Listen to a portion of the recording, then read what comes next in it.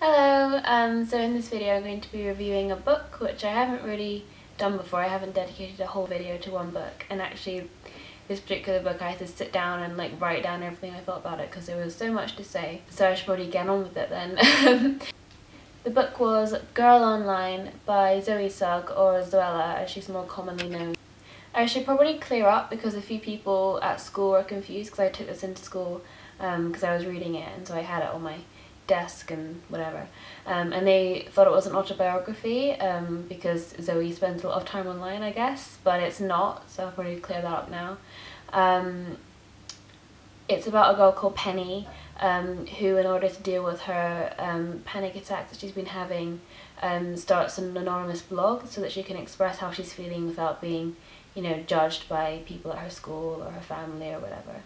Um, and she has a best friend called Elliot, who's amazing. I want an Elliot in my life. Um, and then um, by some turn of events, uh, they end up going to New York together with um, Penny's parents for the winter Christmas period, which again is another dream of mine. I'd love to spend winter in New York. Um, and there she meets the boy of her dreams called Noah, um, and then finds out that not all is as it seems. So, yeah.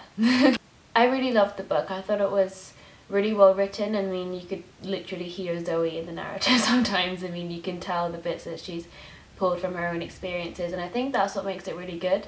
Because there's that saying, always write about what you know. And obviously, a girl, you know, having a blog and, you know, dealing with the kind of things that Penny has to deal with, obviously, Zoe will have first hand experience with that. And that's what I thought made the book so real and truthful, and that was really, like, enjoyable to read about. Also, it was really funny and contemporary. It had a lot of modern references in there to, you know, um, videos and books and stuff that, you know, teenagers will be able to understand. So I really enjoyed that. And um, the fact that it's so... I don't really like the word relatable because it's kind of putting everyone in a box, but I really, I really enjoyed how she was connected to the reader, I felt.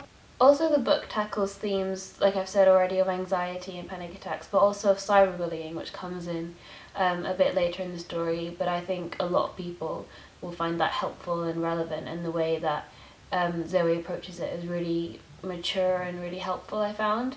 Um, fortunately, I've never had to deal with that, but anyone who has, you know, um, I can imagine them finding the book really helpful and really kind of comforting to know that they're not alone and there's always something they can do about it. Of course, when I first got this, I headed over to Twitter to see what other people were saying about it. And I saw a lot of tweets kind of like, um, I mean, obviously Zoe has 6 million subscribers now. Um, so obviously some of those people will, will be readers and won't enjoy reading. And there are people saying, oh, I'm going to read this because Zoe's written it. I'm actually really excited to read this because Zoe's written a book.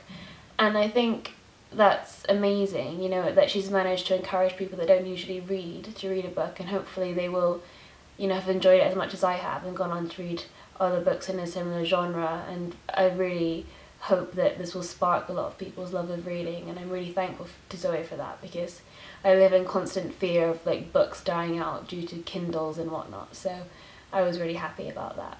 Whilst on Twitter I found also a lot of negative comments saying that uh, they were confused at why Zoe's written a book or that um, she should stick to YouTube or why is she using Hello.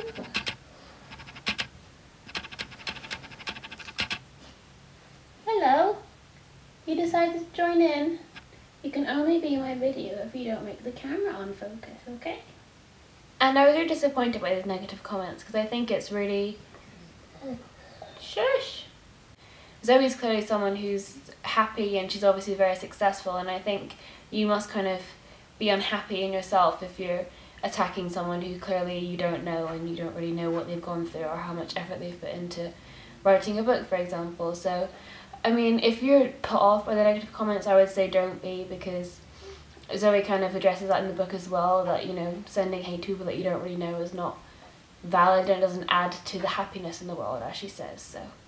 Overall, I found it a really warm and happy story. I felt like when I was reading it, I was really cozy and I could just curl up with some tea or hot chocolate, or whatever your drink of preference is. um, and it was really readable, you know, it was just, it just kind of flowed really nicely.